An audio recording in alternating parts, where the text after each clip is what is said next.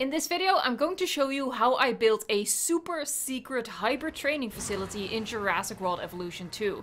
This was a really cool build, and it started with a fun building challenge that I have for you to try out as well. Hello everyone, thanks for checking out this video. Please remember that the entire construction process of the super secret hybrid training facility is strictly confidential, so please submit to our confidentiality agreement by subscribing and giving a thumbs up. This build, I started with making an island within the map that I'm building on, and I just created a fairly random shape, and then I challenged myself to not change that coastline while I was building, treating it as sort of a randomized island feature that the game sadly lacks. But I highly recommend that you try this out for yourself, because I have found that it's really inspiring and challenging, and you can get some really different looking parks every single time if you do this. You know, if you're getting like a little bit bored with the maps that we have. So with the island done, I'm starting with the arrival point for this super secret military hybrid training base. That is quite the mouthful. And we're dealing with, well, it's super secret, it's remote, it has limited access. So I thought, okay, how do staff and supplies come in? let's build an airport. Obviously, you could just use like the helipad arrival points and stuff like that if you want to save space on, on an airport like this, but I really love building this sort of stuff and I think it turned out pretty great. Now, what I'm doing with this back and forth is just to get those dotted lines down the center and the elongated stripes at the start and end of the runway. In hindsight, when I pulled out, the airstrip was a little on the short side, but in the end, we're not like going for 100% realism. It's a game after all. I sort of I I give myself permission to forgive myself for little mistakes like this and just enjoy the building process.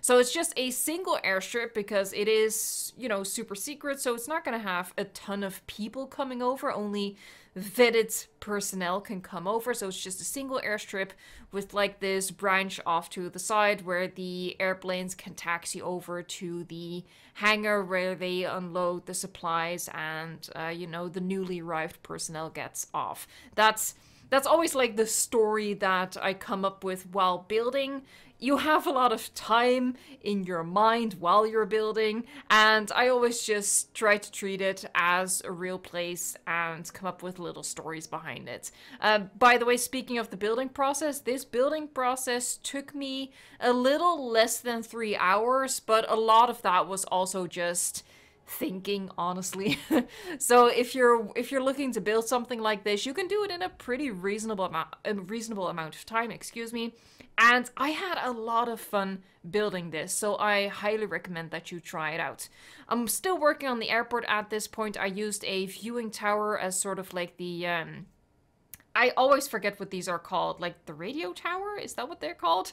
Uh, but like the the tower that has the overview where air traffic control is situated, that sort of thing. And I used the response facility building because it's the only building that has a hangar, and I really wanted to have that look. I didn't necessarily want the helicopter. Uh, so if you are using mods, I would recommend that you uh, intersect the response facility with a different building to hide the helicopter and the helipad. For example, that uh, Hyperloop control station that I have over there, I'm pretty sure that if you angle that, you can get it to completely cover up the helipad and the helicopter. Um, that's just a little side tangent that I went on. I am having to add another arrival point though, so that means a second helipad.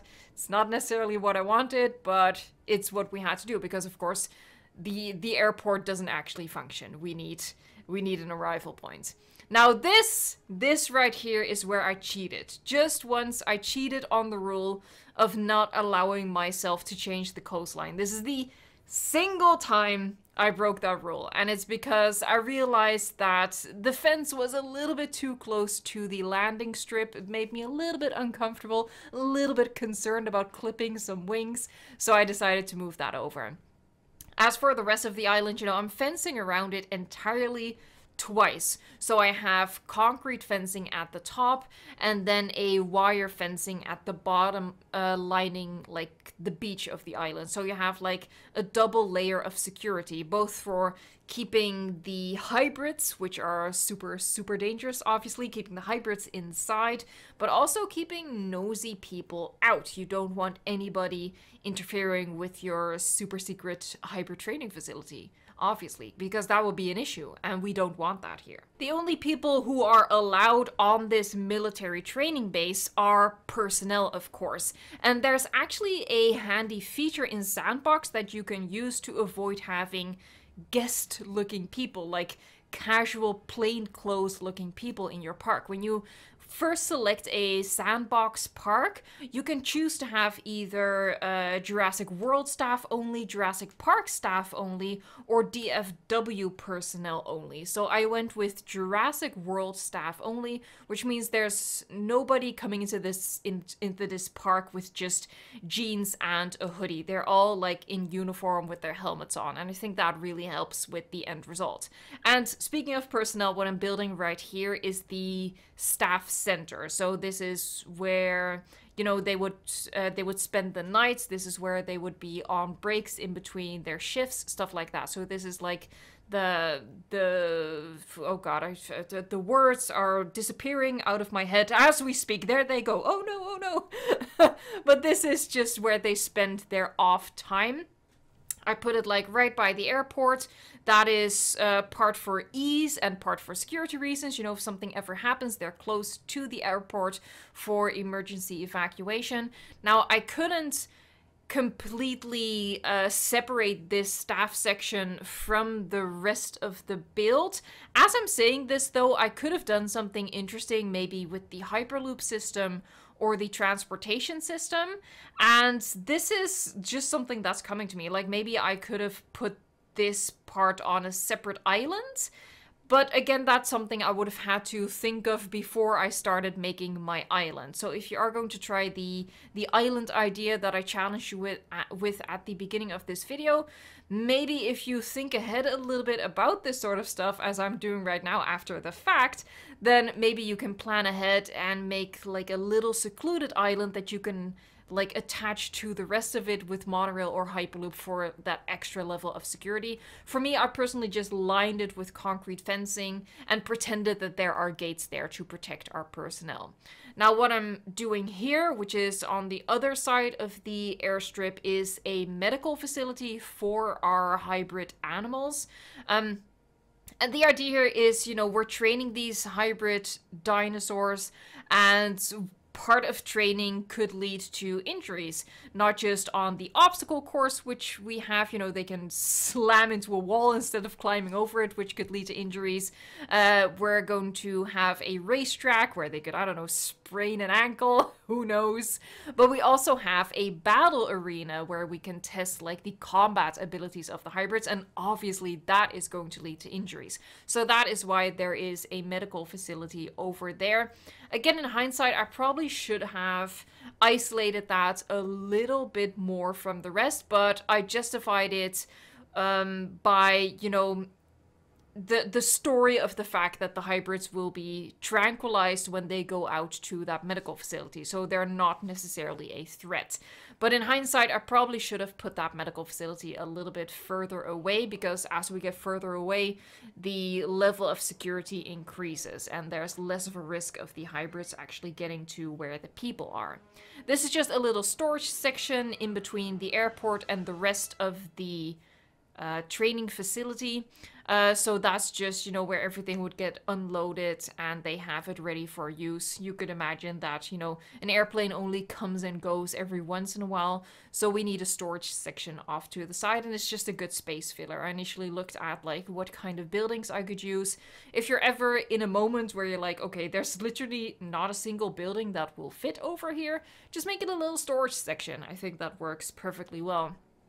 Up ahead, like behind the medical facility, is the hatchery, and this is where, you know, they would clone food for the hybrids. So, you know, I've used Edmontosaurus and I think Homalocephale as our food types, uh, but you can obviously choose whatever dinosaur you want. Also, what I'm going with um, I know that a lot of people always have the urge to fit as many dinosaurs in a single build as possible, but I don't treat the game that way because I build so many parks and facilities. I like switching it up with a build like this, which has only a handful of species. If you want to build a training facility too, but you do want more dinosaurs, you can add the same hybrids but in different colors and treat them as different generations. Like a blue Indo is Gen 1, but a green Indo is Gen 2 because it has better camouflage, stuff like that. And you can also add more species more herbivores for the hybrids to hunt, and other carnivores for them to battle as part of their training. So you can add holding pens for Rexes, Gigas, Acros, Raptors, and flesh out this idea a lot more. And that's also, you know, tied into what I was talking about with the hatchery. You do need a hatchery there to bring in new species. Now, a lagoon might be an odd choice as you see me working on here, but I thought that part of the training should be seeing if they can swim. so that's what the lagoon is here. Uh, it's not going to house any marine reptiles, although again you could do that and part of the story could be that you're testing how well uh, the hybrids can actually fight in the water against a marine reptile. You could you could go that route, but I personally just went for basically a swimming pool kind of setting where they could test the swimming capabilities of the hybrids. These are the holding pens for the herbivores, which will serve as food, and it has a ranger station off to the side. Uh, again, um, just for uh, security reasons, but also what this park uses a lot is the idea that we can wrangle the dinosaurs because it's a training facility and at the end of the day training means that you have to come into close proximity with the animals. So there's a ranger station by the hatchery for the herbivores, but there will also be a ranger station right here, which are the holding pens for the three different species of hybrids. And the idea is that they would get wrangled, uh, like guided towards the different training areas that are in the middle section of this island. So we have our three pens and you can see that they all have gates leading out into this funnel. There's this little double gated intersection right here. I'm to make some changes to that later on in this video. But this is how with the help of a ranger team, which I'm placing right here, you can get the animals out of their holding pen and to whatever area of the training facility that they need to get to, with the exception of the racetrack. I mean, you can get them to the racetrack via wrangling, but I I'm, I'm, i made a different solution for that, and well, I'll actually talk about that when we'll get to that. I'm just adding a lot of sand to this area for comfort, I suppose. Uh, the animals are not treated ethically. They're treated sort of like war machines, I suppose, really building off of that concept that they introduced in Jurassic World and continue building on in Jurassic World Fallen Kingdom. So this is not an ethical park. This is, uh, no, this is not a right amount of space for these animals, but it's not really about treating the animals well. This is, you know, a shady operation where they are using the animals for military purposes. So that's a little iffy, okay? We're in a morally gray area. Let's um, let's just accept that and move on. Now I'm placing a ton of these around as like watchtowers. The advantage of those is that they don't need a path connection so you don't get that awful notification at the top which will be fixed by the end of this build. So I've built like their holding pen and now we're starting on the middle section of the island and as you can see I'm adding another layer of fencing and what this actually does is it connects uh, the two ends of the island via this path in between those fences. So the rangers can go from one end of the island to the other without having to go through the racetrack, through the obstacle course, through the battle arena. They can bypass all of that along the coastline that way. And I thought that was a pretty cool idea, but also pretty necessary for that little bit of realism. Right here at the very start, we have this intersection where we can lead the dinosaurs in three directions. In the middle, inside that circle, we have the uh, the battle arena, and then on either side there will be a obstacle course and a sort of more natural habitat for testing and observation purposes. And then at the very end, what I'm working on right here, this is the racetrack. So the racetrack is just this elongated strip uh, lined with the concrete fencing. I've used the pylons as sort of the start and finish line. I'm putting viewing galleries on either side of it for observation, for viewing, obviously. And what I did, which I think works quite well, you know, if you use your imagination, I put that strip of invisible fence down the middle, and I'm just pretending that, like, that is a sort of track that has a lure, which lures the dinosaurs from the start to the finish line to test their speed. And now I'm adding just a little bit of path down the track to to yeah to test the hybrid's speed. So that is pretty much the racetrack part of the training facility done. And now we're working on the obstacle course. So I'm sort of like making this winding path uh, that we're going to add obstacles to. Now, because the obstacle course is in between the racetrack and the holding pens, technically the racetrack could be reachable if you wrangle the dinosaurs along that like pathway that we made but my idea was instead to have the animals be airlifted to the racetrack if they need to race, if they need to have their speed tested. So that's why there's this there's this pretty big area, this pretty big paved area right by the track where they can drop off the tranquilized dinosaurs. You saw it like pass by probably. Um, but we're just continuing with the obstacle course. In terms of obstacles, I I didn't have a lot of variation to work with, so I placed down a lot of rocks, and I'm also using some of the DFW decorations. So I'm using the concrete barriers here, and I will also be using the containers. I also use these things, I'm not really sure uh, what they would do, the heat detectors. I placed a lot of cameras around, I placed a lot of lights around. Uh, but other than that, I didn't really know what to do in terms of the obstacles. You saw me struggling there a little bit. I went with the containers. Um, and I didn't want to put the containers at the very side because then they the animals could use the containers to hop over the fence. I also didn't want to use concrete fence as a barrier because we're pretending that the concrete fence they can't get over.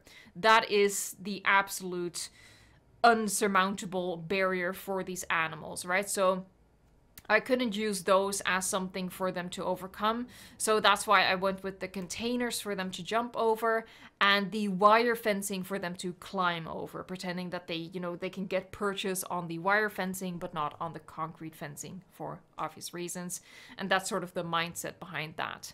For the holding pens, instead of adding actual water, I decided to add these fountains and sort of pretend that they are water troughs just to add to that unnatural look of these exhibits. Like there's there's nothing comforting about these. They're not they're not exhibits by the way. They're just holding pens. There's nothing comfortable about them. There's nothing natural about them and I really wanted that for the look of this.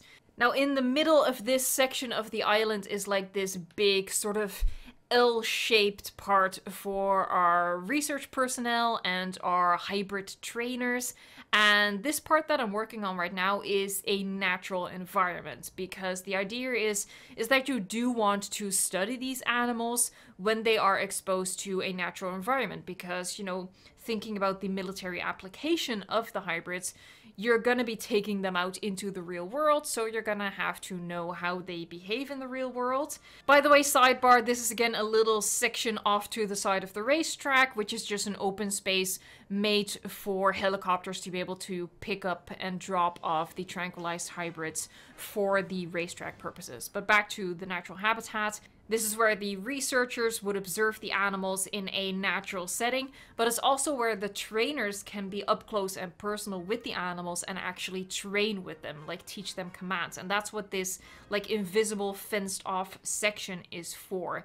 Uh, that way the trainers can be face to face with the animals, uh, Uh, they can have an unobstructed view of each other, be really close to each other, but the trainers are still safe during that part of the training. Obviously, as the training progresses, the trainers would actually go into the exhibit with the animals and uh, have an interaction with them that way. But at that point, they're supposed to be sufficiently trained that they won't actually kill the trainers. All of this I think will be much clearer during the full tour, which I will do in a separate video because there is just so much to show to this build.